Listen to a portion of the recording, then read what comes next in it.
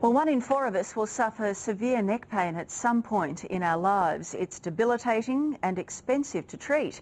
In fact, as a society, we spend $34 billion a year on pain management and neck pain treatments account for about a quarter of that. Now, a new treatment that needs no surgery, no needles and no medicines.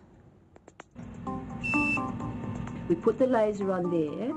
What the laser then does is it blocks the pain it's the latest high-tech weapon against one of life's most dreaded visitors, chronic pain. But this laser is different to most you may have heard of. It's called a cold laser. You won't feel it, it won't break your skin or leave a mark. The treatment is referred to as LLLT, which stands for low-level laser therapy. I do say this is my magic wand sometimes.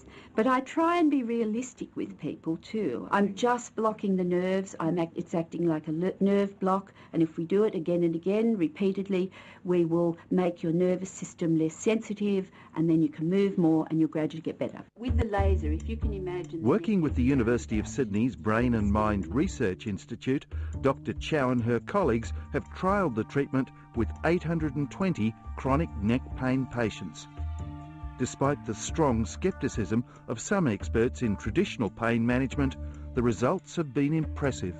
I can make your pain much more bearable. If you're very lucky, maybe 10%, it might go away completely. Um, of course, 10 to 20% don't get a response. So I try and put it in a perspective. Overall, the trial showed that four out of five patients got a 50% improvement in pain levels, but all without the repercussions of surgery or side effects of strong drugs. Especially, say, with the elderly people, laser therapy works much better and have much fewer side effects. And it's fast, sometimes taking just 15 minutes to ease that pain. And this is actually the front of the neck. Dr. Chow is now trying to discover the precise reason why this laser is so effective. But Victoria Pete is simply grateful for the relief.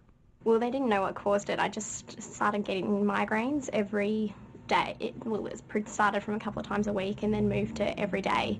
And I was in agony. I couldn't go to uni. I spent about a month at, just in bed. Victoria's migraines may have been caused by simply sitting at a desk, studying.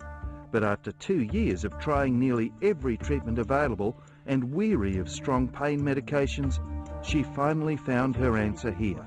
It's the only thing that's worked, so yes, I'm very excited. what sort of improvement have you seen? Oh, massive. I'm not in bed anymore. Mm.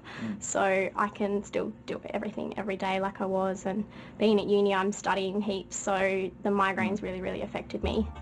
The tantalising question for Dr Chow and her team is if this low-level laser can work so well on neck pain, how will it go with pain in other parts of the body? You can treat most musculoskeletal pain.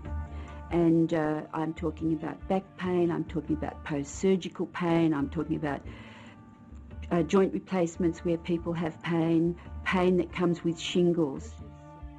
The downside, if it can be called that, is that one treatment is never enough and each costs $60.